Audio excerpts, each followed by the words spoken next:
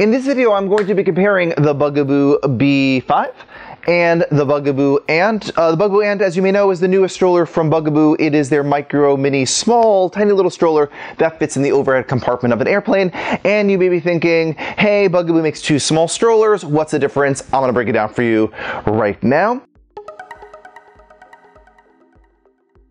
So the Bugaboo Bee has been around for many years. I had this with my 10 year old. This is a great urban stroller, great for if you live in Manhattan and you're going through small elevators and you're just walking down through Central Park. This would be a really good urban stroller and the Bugaboo Ant is a really good travel stroller. Also high quality Bugaboo wheels, but it is smaller and compact and really meant for travel and I'll show you that to you in a second. Both the Ant and the Bee have the seats go in both directions. There is more of a proper recline for newborn on the Bee, even though you can do a full recline on the Ant as well. And also you can get a proper full-size bassinet to go that clicks into the Bee, and that is not an accessory for the Ant at this particular second.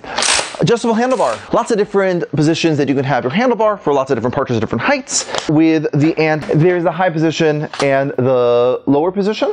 As promised, how does this thing fold? So you take those handlebars, push it in. You just put your fingers on the little black buttons and you put your fingers around the, and you push in and it folds right down. It's small enough. It'll fit in your trunk of your Uber, no problem. Not too heavy, just under 20 pounds. But when it comes to the Ant, let me show you how this thing folds down. You'll see it folds very small. First thing you do is you push down the top of the seat just like that. And you just you kind of like smush it in like that, just a smush. There's a really nice, satisfying little click. Feels really great.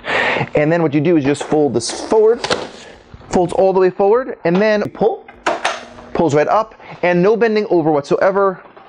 You just click the thing forward, and then you take the button, you push this down. And the cool thing is that this stands on its own. There is a little stand on your Bee as well, which they just added in 2019.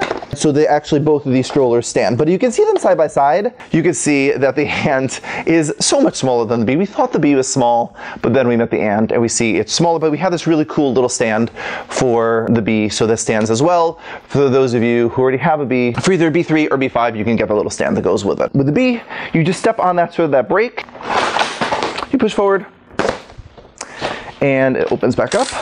In terms of the Ant, you just pull the handle right back up. And then again, those white things, you pull it towards you and it opens right up. And then the last step is you just push down. Click, click. And then you lift it back up.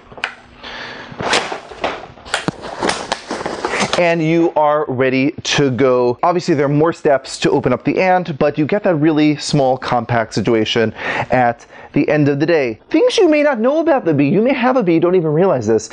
There is an adjustable backrest and footrest on the bee. So this actually goes in and this actually comes up. As your child gets bigger, you can actually expand and adjust. What you want to do is you want to have this sort of longer on the younger child phase as the child gets older. You actually want to make the, the seat more shallow so that the feet can hit the footrest. You can email us at questions at beans.com if you have any questions. That's what we're here for. To turn the seat around on the Bee, here's what you do. You grab that lever on the back, fold it right over till it's down like that, and you just lift it out turn it around, and you line up the seat again and you just click it in and boom now you have the seat facing you. You can fold the Bee with the seat facing you as well. In terms of turning around the seat on the ant here's what you do. Again push this down smush it in and then fold it over. This comes right out turn it around throw it back in and